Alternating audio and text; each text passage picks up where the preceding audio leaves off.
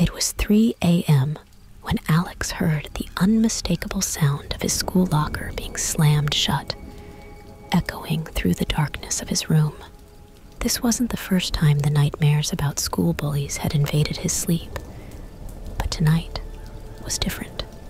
The air felt heavier, and the shadows in his room seemed to whisper his name.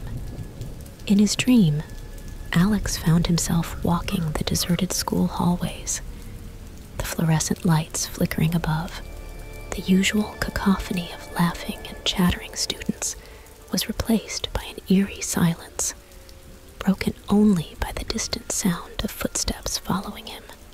Turning around, there was never anyone there, yet the feeling of being watched was overwhelming. As he approached his locker, the numbers on the combination lock began to spin wildly on their own. Finally, coming to a stop, the locker creaked open to reveal not the books and papers he had left, but a dark, seemingly endless void. From this darkness, a hand emerged, grabbing his shirt and pulling him towards the abyss. Alex tried to scream, but no sound came out. Just as he felt himself being swallowed by the darkness, he woke up, gasping for air. His room was quiet, but a cold draft made him shiver. That's when he noticed it. His bedroom window, previously shut, was now wide open, the curtains billowing in the wind. On the sill sat a familiar object that sent chills down his spine. His school ID, which he had lost months ago, long before the bullying started. Puzzled and frightened, Alex got up to close the window, but a shadow in the corner of the room caught his eye. It was too large to be his, and as it moved, it seemed to be creeping closer. The air around him grew colder, and the faint sound of whispers filled the room, echoing the taunts and jeers of his school bullies. But how could this be? He was alone, wasn't he? As the shadow loomed larger, the whispers became more distinct, repeating a name over and over. It wasn't his name, but one he recognized all too well the name of the main bully who tormented him at school. The realization hit Alex like a wave of ice cold water. Something or someone from the school was here, in his room, at 3 a.m. His heart pounding in his chest, Alex backed away from the advancing shadow. The whispers grew louder, and the room seemed to close in on him. He could now make out the words among the whispers, phrases he'd heard during the day, twisted into sinister threats. The shadow seemed to feed on his fear, growing larger and more defined, taking on the form of the school bully had made his days a living nightmare. As the figure stepped into the moonlight streaming through the window, its features became clearer. It was an exact, albeit distorted, replica of the bully, but its eyes were hollow, soulless pits, and its smile was wide and malicious. Alex wanted to run, but his legs wouldn't move.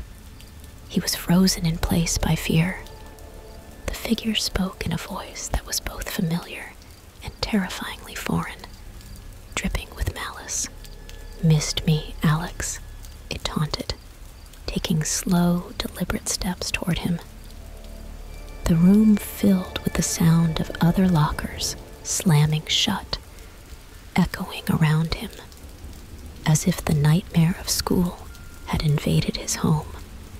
In a desperate bid for safety, Alex managed to stumble towards his bedroom door, flinging it open, only to find the hallway transformed into the school corridor he dreaded. Lockers lined the walls, their doors rhythmically opening and closing with no one in sight. The fluorescent lights flickered above, casting strange shadows that twisted and turned like writhing serpents. He ran down the hallway, sound of his footsteps echoing loudly mixing with the distant, mocking laughter of unseen bullies. Doors to classrooms swung open as he passed, revealing glimpses of moments when he felt most helpless and humiliated. Desks and chairs were upturned, and graffiti covered walls displayed cruel messages aimed at him. As he reached the end of the corridor, he found himself at the entrance of the school gym, the site of many of his humiliations. The doors swung open on their own, revealing the dark, empty space inside. The only light came from the moon shining through the skylights, casting an eerie glow over the basketball court. The whispers were now deafening, and as Alex stepped into the gym, they suddenly stopped. In the silence, the sound of a bouncing basketball echoed, growing louder and closer. A figure emerged from the shadows, dribbling the ball. A twisted version of another of his tormentors. Its face, a grotesque mask of glee. Alex turned to flee, but found the gym doors had vanished, replaced by solid walls.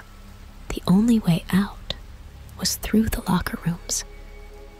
Notorious for being the bully's favorite spot for their cruel games, he could hear the sound of showers running and the laughter of his tormentors, as if they were waiting for him inside.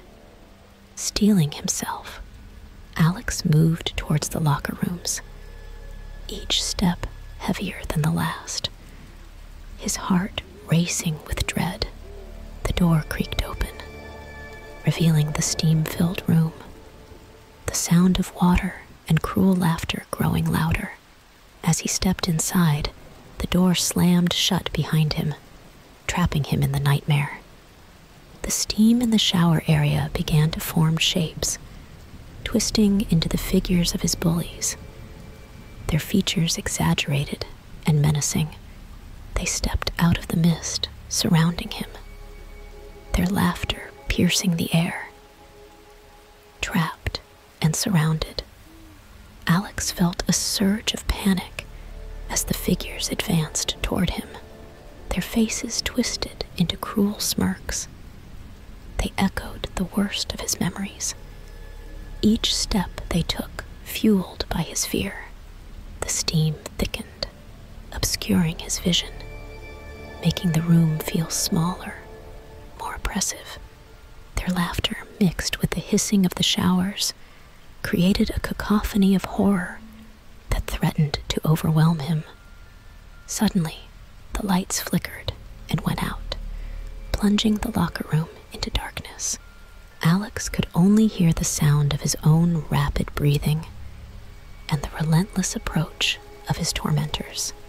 In the pitch black, he felt isolated, as if cut off from the world outside this nightmare.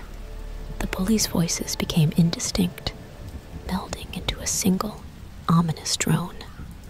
Just as he felt a hand grasp his shoulder, the lights blazed back on, revealing not the bullies, but empty space. The steam had cleared, and the locker room was silent and deserted. Confusion and fear battled within him as he tried to understand what was real and what was a product of his terror stricken mind. Forcing himself to move, Alex found an exit door that seemed to appear out of nowhere. He pushed it open, stumbling into the cold night air. The school grounds were unrecognizable, shrouded in a thick fog that seemed to swallow the light. The familiar paths and buildings were gone, replaced by a twisted maze of shadows and shapes that moved just beyond the edge of vision. Alex felt drawn towards the school's old, abandoned building, a place rumored to be haunted, even during the day. Now it loomed before him, its broken windows like dark eyes watching his every move. The air grew colder as he approached, and the whispers returned, now chanting a dire warning, urging him to turn back. But something compelled him to move forward. as if the answers to his torment lay within those crumbling walls. As he entered the building, the door slammed shut behind him, the sound echoing through empty halls. Inside, the atmosphere was thick with despair, the air heavy with the scent of decay. Graffiti covered walls seemed to mock him with distorted faces, and the remnants of old school equipment were scattered around, covered in dust and cobwebs. Moving deeper into the building, Alex heard the faint sound of a piano playing from somewhere above. The melody was haunting, filled with sorrow and a strange familiarity. He followed the sound, climbing the rotting staircase, each step creaking ominously under his weight. The music guided him to an old music room where the dilapidated piano played itself, the keys moving in a ghostly dance. Drawn to the piano, Alex reached out to touch it, but before his fingers could make contact, the music stopped abruptly and the oppressive silence returned. He turned to leave, but the door through which he had entered was no longer there. Instead, he faced a corridor he had never seen before, lined with doors that seemed to breathe, pulsing in and out with a life of their own. Hearing a noise behind him, he turned to see the shadows coalesce into the forms of his bullies, their features even more monstrous and distorted. They began to advance down the corridor, their footsteps echoing ominously. Alex ran, opening doors only to find brick walls or more corridors behind them. The building a labyrinth designed to confuse and terrify. As he navigated the endless halls, the line between reality and nightmare blurred further. The school's history, steeped in rumors of bullying, tragedy, and unresolved anguish, seemed to come alive, playing out its darkest moments. The Alex's breaths came in ragged gasps as he fled through the ever changing corridors of the old building. The relentless pursuit of his nightmarish tormentors drove him deeper into the heart of the structure, where the air was thick with the weight of unspoken horrors. The building seemed alive, its very essence infused with the anguish and despair of those who had suffered within its walls. Each room he passed was a tableau of torment, frozen moments of anguish from different eras, all eerily similar to his own experiences. Desks arranged in a circle with an empty chair in the middle, blackboards scrawled with taunts, lockers ajar with ominous darkness within. The building was not just a place, but a living memory of every act of cruelty that had occurred there. In his frantic escape, Alex stumbled upon an old library, its shelves groaning under the weight of moldy books, the air filled with the musty smell of decayed paper. Whispers here were louder, almost pleading, as if the books themselves were desperate to be heard. On a table lay a newspaper clipping from years ago, detailing a tragic incident where a bullied student vanished without a trace. The photo showed a boy with a haunting resemblance to Alex. Hearing the echoes of footsteps, Alex hid behind a bookshelf, peering through the gaps. The distorted figures of his bullies searched the room, their eyes glowing unnaturally in the dim light. They spoke in disjointed voices, each sentence a jumble of words that seemed both threatening and sad.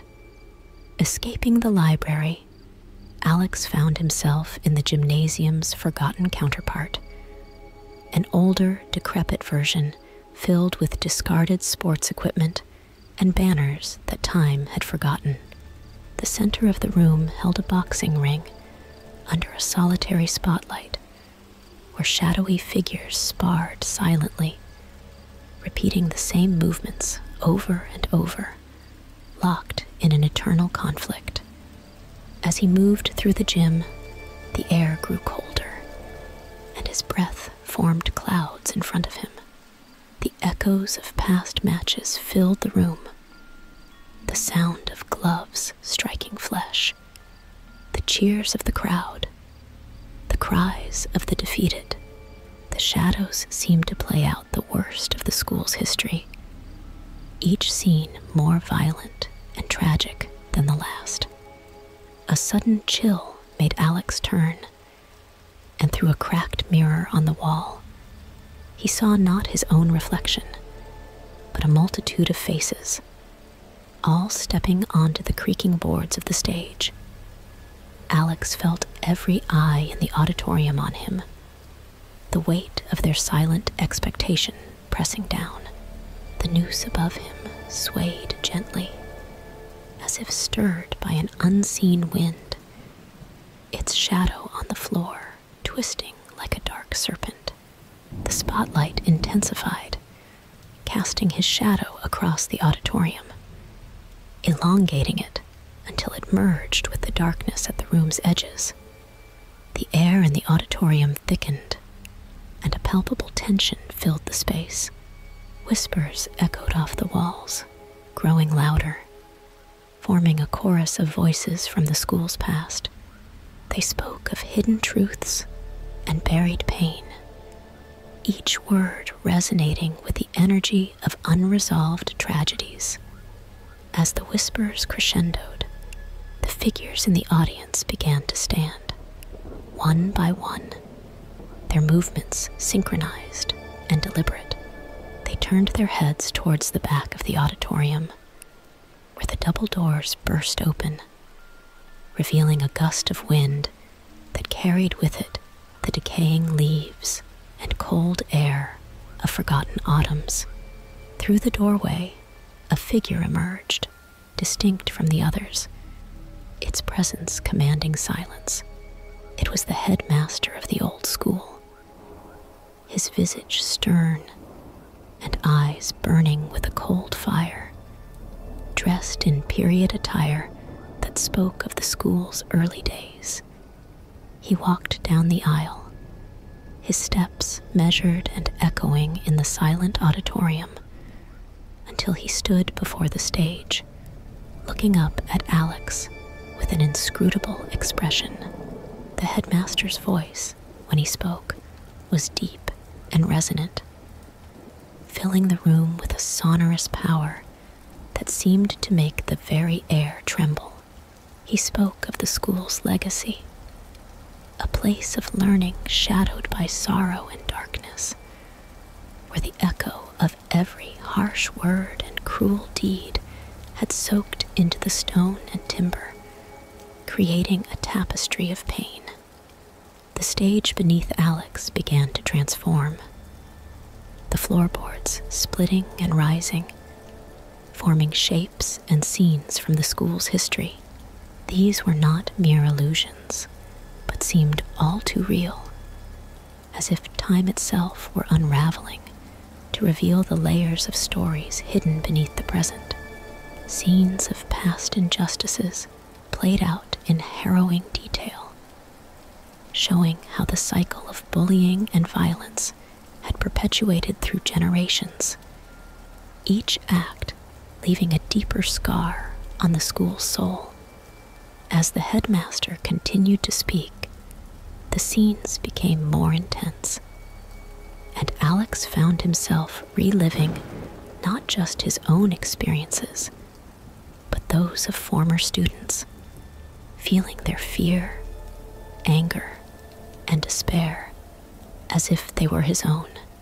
The boundaries between past and present blurred further, and he realized that the school, with its long and troubled history, had become a nexus of suffering, drawing in those who bore the weight of its dark legacy. Suddenly, the spotlight on Alex intensified, blinding him. When his vision cleared, he was no longer on the stage, but standing in a replica of his own classroom, facing the shadowy figures of his bullies. However, now they appeared not as the monsters of his nightmares, but as mere children, their faces twisted not by malice, but by fear and confusion. Behind them, like puppeteers, were the figures of adults, their features obscured and menacing, manipulating the children into repeating the cycle of cruelty and fear. The headmaster's voice echoed through this tableau, explaining that the true horror of the school was not the acts of the students, but the failure of the adults to break the cycle, to transform the school from a place of fear to one of nurturing and growth. The school's tragedy, he revealed, was not in its haunted halls or spectral figures, but in the lost potential of every child turned tormentor or victim by the neglect of those who should have guided them. As this revelation sank in, the classroom faded, and Alex found himself back in the auditorium, alone on the stage, with the noose still swinging gently above him. The figures in the audience had vanished, leaving only the empty seats and the echo of the headmaster's words. The doors at the back of the auditorium stood open, revealing the first light of dawn, casting long shadows across the floor. With a heavy heart, Alex stepped down from the stage, his mind reeling with the night's revelations. As he walked towards the open doors, the school behind him seemed to grow silent, as if holding its breath. The nightmare was over. But the real journey, the struggle to confront and end the cycle of bullying, was just beginning. As he stepped out into the cold morning air, the school, now just a building, stood silent behind him its windows reflecting the first light of the new day, waiting for the future to rewrite its legacy. As Alex left the ominous embrace of the school, the dawn's early light seemed to cleanse the night's horrors from his mind. Yet, the echo of the headmaster's revelations lingered, a silent whisper that trailed his every step. The world outside the school's boundary appeared unchanged. But to Alex, everything seemed different, as if he was seeing it all for the first time through eyes opened by his nightmarish journey.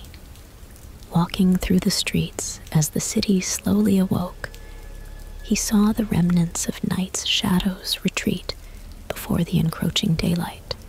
The ordinary sights and sounds of morning felt surreal a stark contrast to the darkness he had escaped. His mind was a whirlwind of thoughts, trying to piece together the reality of his experiences with the history of the school and the legacy of pain it harbored. Upon reaching his home, the familiarity of his surroundings did little to comfort him.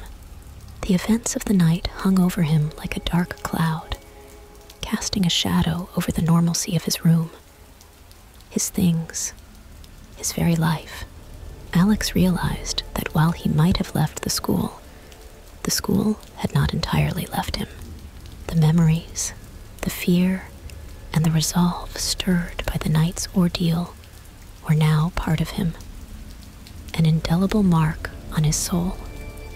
Compelled by a newfound purpose, Alex turned to his computer his fingers hesitantly hovering over the keyboard.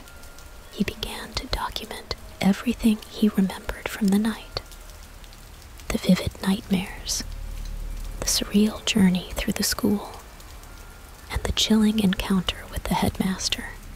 As he typed, the events took on a clearer shape, forming a narrative that was both a confession and a call to action.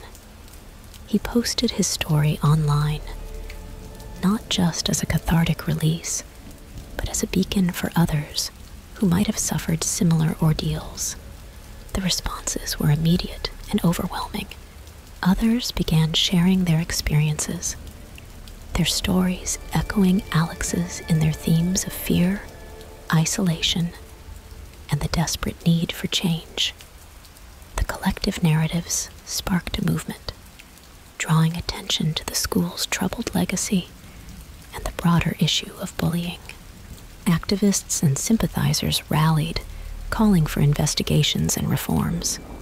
The school, once a silent custodian of years of suffering, became the center of a storm of controversy and debate. Amid this turmoil, strange occurrences began to happen around the school. Workers tasked with renovating the building reported inexplicable phenomena. Tools disappearing, strange noises echoing through the halls, and an oppressive feeling of being watched. The most alarming incidents were the sightings of apparitions. Resembling figures from the school's past, wandering the corridors and classrooms. As if the building itself was resisting the changes, clinging to its dark history. These incidents, initially dismissed as stress or tricks of the light, became harder to ignore as they increased in frequency and intensity. The renovations were halted when a construction worker disappeared without a trace, only to be found days later in the old auditorium, unharmed but with no memory of how he got there.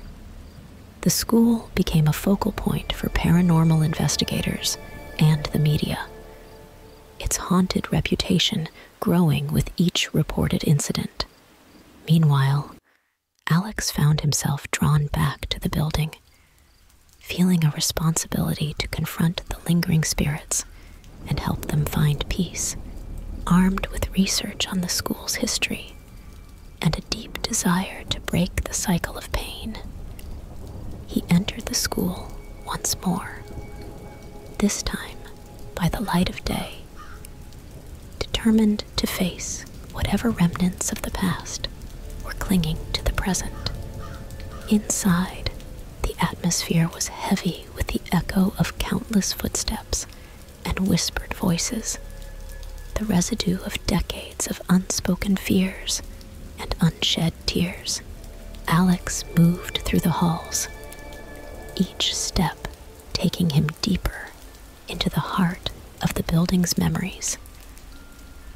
The air thick with the anticipation of impending revelations or confrontations. The school, for so long a silent witness to its own grim legacy, now seemed to be speaking directly to him, its halls and rooms pulsating with the energy of untold stories, waiting to be acknowledged and resolved. Alex felt the boundaries between the past and the present blurring as if the school existed in a timeless state, a nexus where the echoes of history were as real and palpable as the walls that contained them. He reached the auditorium, epicenter of the school's haunted history, where the fabric of reality seemed thinnest, and the ghosts of the past were closest to the surface. Stepping onto the stage, Alex felt the intensity of the spotlight once again, not as a beacon of fear, but as a symbol of truth, ready to illuminate the darkest corners of the school's past and his own heart, preparing to confront whatever lay hidden in the shadows, seeking closure and perhaps redemption. In the auditorium, the silence was thick, almost tangible as Alex stood on the stage. The spotlight above him flickered, casting erratic shadows that danced across the room. He could feel the presence of the school's history around him, a palpable force seemed to breathe and watch his every move. Alex took a deep breath and called out, his voice echoing through the empty space. I know you're here. I feel your pain, your anger, and your sorrow. But it's time to let go, to move on from this place. His words hung in the air, and for a moment there was silence. Then, gradually, a low murmur began to fill the room, like the rustle of leaves in the wind, growing louder, becoming a cacophony of voices, each clamoring to be heard. Figures began to materialize in the seats of the auditorium. Spectral images of students and teachers from different eras. Their features blurred, but their emotions unmistakable. A mix of sadness, rage, and despair. They were the remnants of the school's troubled past, bound to the building by their unresolved agony. Among these figures, Alex recognized the boy from the newspaper clipping, his face sorrowful, but his eyes meeting Alex's with a glimmer of hope. The boy pointed towards the backstage area, his gesture silent but urgent. Driven by the boy's silent plea, Alex moved off the stage and headed backstage, the whispers of the past following his every step. The area behind the curtains was a labyrinth of props and costumes, each carrying memories of past performances, a stark contrast to the somber reality of the school's history. As he navigated through the clutter, Alex felt a shift in the atmosphere, as if he were moving through a portal into another time. The whispers grew louder, and he could now discern individual voices, pleading, threatening, crying out for attention. The air grew colder, and a faint light glowed from a door ajar at the far end of the backstage area. Approaching the door, Alex pushed it open to reveal a small room, cluttered with old furniture and boxes. In the center stood an antique mirror, its surface cloudy and worn. The mirror seemed to call to him, its frame pulsating with a strange energy. As Alex peered into the glass, the room behind him, reflected in the mirror, began to change, displaying scenes from the school's history like a movie reel of misery and torment. The mirror showed him the truth behind the school's haunted legacy. Not just the acts of bullying, but the systemic failures and the silence of those who turned a blind eye. It revealed the pain of those who felt unseen and unheard, their spirits lingering, trapped in a cycle of despair. As he watched, the images in the mirror shifted, focusing on the boy from the newspaper. His story unfolded, showing not just his suffering, but also his moments of joy and potential, brutally cut short by his untimely disappearance.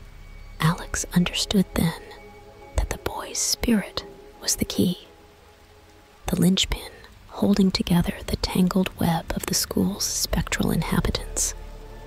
Determined to unravel the mystery, Alex turned from the mirror and headed deeper into the backstage area, guided by an unseen force. The whispers of the past grew more insistent, leading him to an old, forgotten part of the building where the air was thick with the dust of decades. Here, in the heart of the school's original structure, the atmosphere was charged with energy, as if this were the core from which the school's haunted essence emanated. The walls were lined with old photographs and documents, layers of history that told the story of a place lost to time, yet alive with the echoes of those who had passed through its halls. Alex felt a convergence of emotions, the collective experiences of generations. And at the center of it all was the boy, his life, and disappearance, a nexus around which the school's dark history revolved. To break the cycle, Alex realized, he needed to uncover the truth of what happened, to bring it into the light and give voice to those who had been silenced. As he delved into the forgotten records and pieced together the fragments of the past, the shadows of the school began to stir, as if sensing the impending revelation. The air grew heavier, the whispers louder, and the boundary between the past and present blurred, setting the stage for a confrontation with the darkness that lurked at the heart of the school's legacy. In the bowels of the old school, where the whispers of the past had led him, Alex uncovered the hidden truth behind the boy's disappearance and the school's haunting legacy. The documents he found, long forgotten and covered in dust, told a story of neglect, of a tragedy that had been swept under the rug by those in power. As Alex pieced together the last of the puzzle, the atmosphere in the school shifted. The oppressive energy that had filled the halls began to dissipate, and the spectral figures that had roamed the building started to fade, their expressions softening as the truth was finally acknowledged. The boy's spirit, the central figure in this haunting, appeared before Alex, his expression one of relief and gratitude. With the truth revealed, he could finally move on. His presence no longer a tether for the other spirits trapped within the school's walls. As he vanished, the other apparitions followed, their whispers fading into silence, leaving the building feeling just like an ordinary, albeit old, school. Alex, standing alone in the quiet hall, felt a profound sense of peace. He had faced the darkness of the school's past, and in doing so, had freed both the spirits and himself from the weight of unspoken history. The school, once a place of fear and sorrow, now stood silent, its halls empty of the haunting that had pervaded them. Leaving the school, Alex knew that while the building's immediate haunting was resolved, the broader issue of bullying and neglect remained. He vowed to use his experience to continue advocating for change, ensuring no one else would have to endure what he and so many others had faced. The story of the haunted school and Alex's brave confrontation with its past spread far and wide, inspiring others to speak out and confront their own haunted histories. The school itself was eventually renovated and reopened, but with a new focus on understanding and compassion. Its legacy of pain replaced by one of hope and healing. And though the school moved on, the memories of those who had suffered there remained, a reminder of the past's impact on the present. But now, these memories served not as a source of torment, but as a driving force for positive change, a testament to the power of facing and overcoming the darkest of truths. In the end, the true horror was not the ghosts that haunted the school, but the reality of human cruelty and indifference. And the true heroism was not in the vanquishing of specters, but in the courage to confront and rectify the wrongs of the living. Alex's journey through the nightmarish halls of his school had ended, but the story of his fight against the shadows of injustice had just begun. A beacon of light in the darkness, guiding the way toward a better, kinder future.